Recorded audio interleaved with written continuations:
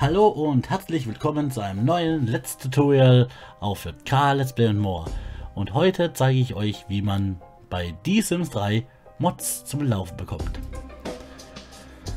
Erstmal ganz wichtig für die Mods ist, dass man einen Mods-Ordner braucht und zwar im Sims-Verzeichnis. Äh, falsch. Hm.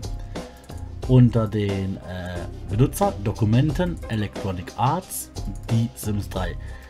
Ihr seht, ich habe hier jetzt schon einen Mods-Ordner, aber den lösche ich jetzt erstmal, weil ich mache mir ja gleich den neuen Mods-Ordner rein. Dafür gehen wir auf meine Internetseite.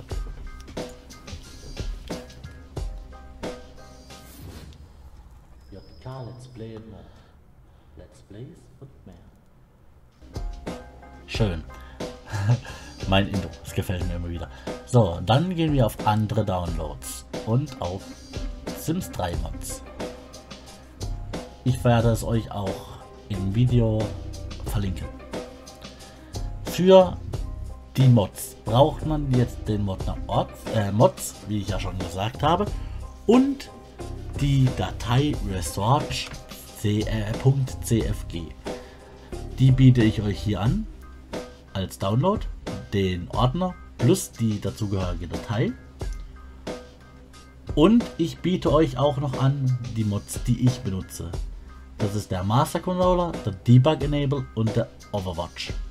Damit das Spiel ein bisschen flüssiger läuft, sind diese drei Mods doch schon gut. Es gibt aber noch viele andere Mods. Eine Seite, wo ich meine Mods her habe, habe ich auch unter dem Video verlinkt.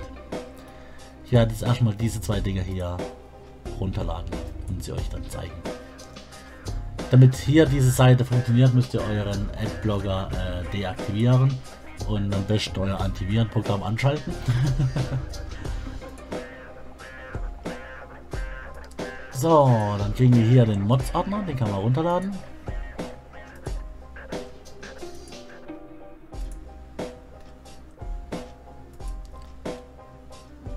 Wenn er runterladen würde. Und dann gibt es natürlich noch den anderen Mod, äh, den anderen Ordner mit den Mods. Die kriegen wir natürlich auch hier herunterladen. Jetzt müssen wir nochmal warten, bis es bis er endlich fertig ist. Okay, das ist schon fertig. Und der hier muss noch runterladen. Meine Website kann ich jetzt erstmal schließen. Ah ja. Und auch der ist fertig. Das kann man so machen. Diese ganzen Sachen findet sich dann im Ordner Downloads. Einmal der Mods-Ordner mit der Research CFG-Datei und dem Ordner Package. In diesen Ordner müsst ihr am Ende die Mods rein, äh, reintun, damit sie laufen. Oder ihr benutzt natürlich gleich den Mods-Ordner mit den Mods. Da ist ebenfalls Package drin, Research CFG und natürlich meine drei Mods, der Debug Enabler, Master Controller und Overwatch. Da ich jetzt aber den Ordner mit den Mods haben will, packe ich den Ordner mit den Mods. Dann öffne ich wieder den Benutzer, Dokumente Electronic Arts, die Sims 3 und dann nehme ich den Ordner Mods, gerade so diesen Ordner, wie er, wie er hier steht und ziehe ihn einfach hier rüber. Äh, hallo?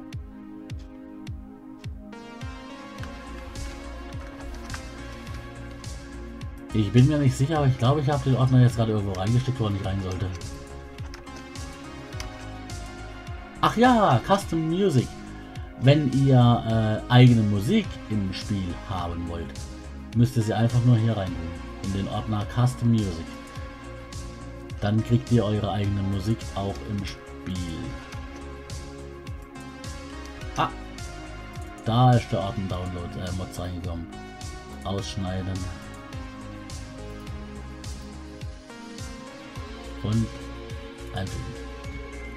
So, jetzt haben wir hier den Ordner, Mod, Mods mit der Research CFG Datei und meine Packets.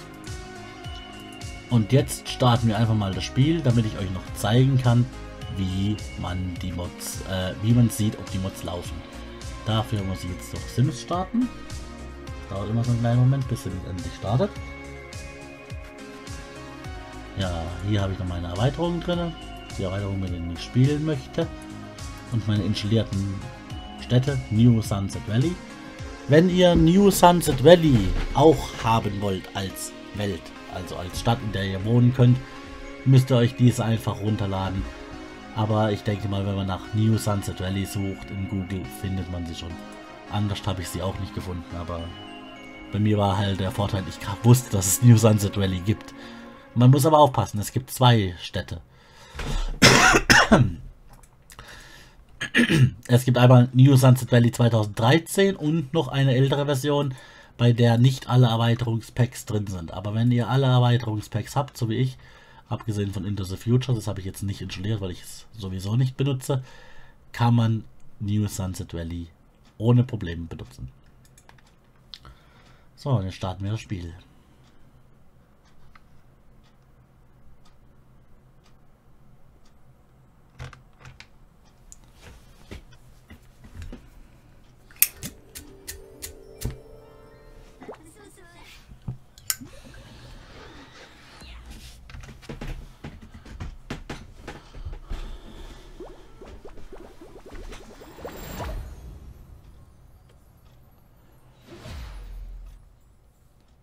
Das Video müssen wir uns nicht anschauen, oder?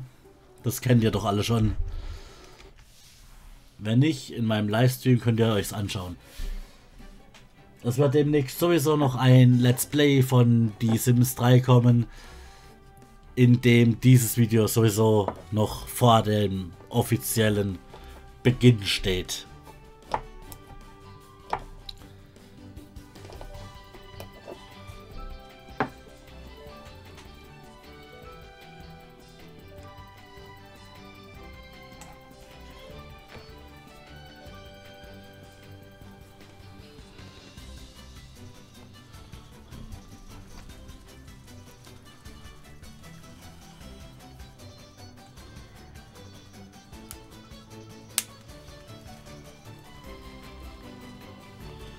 So, jetzt sind wir gleich fertig mit der Ladezeit.